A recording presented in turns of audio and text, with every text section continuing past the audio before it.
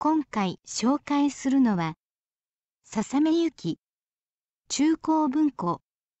という本です。作品の内容自体の圧倒的な素晴らしさについては、多くのレビュアーの方が絶賛している通りなので、私に付け加える言葉はありません。芦屋川を中心に整然と開けた、そして凛とした佇まいを四季を通じて称える芦屋。そして神戸市東灘区の山の手の街並みを愛してやまない人にとっては、必読の書と言ってよいでしょう。さて、本書を文庫版で購入するとき、3分冊になっている新潮文庫版を選ぶか、1冊にまとめている中央文庫版を選ぶか、迷うところです。混雑する通勤電車で少しずつ読むしか時間が取れない人は3分冊の方を選ばざるを得ないでしょう。こちらの中央文庫版の方はさすがに解説を含めて936ページというボリュームですが、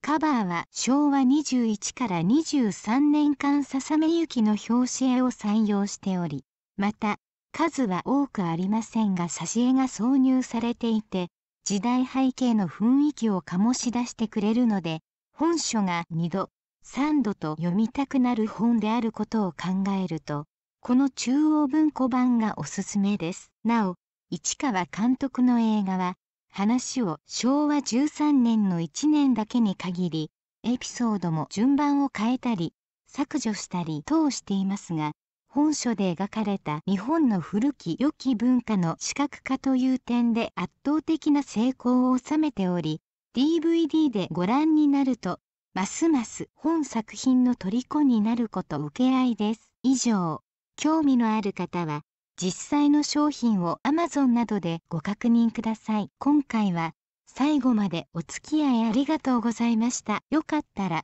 チャンネル登録をお願いいたします。